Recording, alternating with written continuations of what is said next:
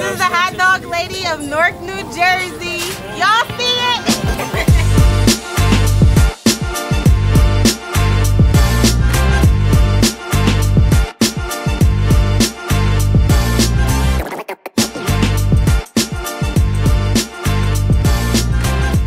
It's a fast, quick food. You don't gotta stick around too long. It's a quick bite. Everybody love hot dogs. It's very affordable. You can put whatever you want on it. You just gotta make it exotic. Do different things with it. I just love hot dogs. It actually was my cravings when I was pregnant, so that's why the, all the toppings are exotic like that. I tried to mix it up so I wouldn't get tired of eating it. The Mac Daddy is homemade mac and cheese with seven cheeses, vegetarian sweet beans.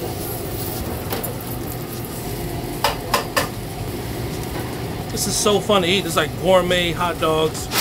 But I'm located on Bergen Street and Madison Avenue. I'm not finished yet. This is just the beginning.